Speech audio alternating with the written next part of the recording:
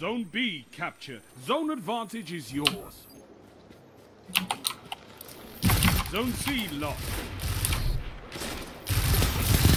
Two for one.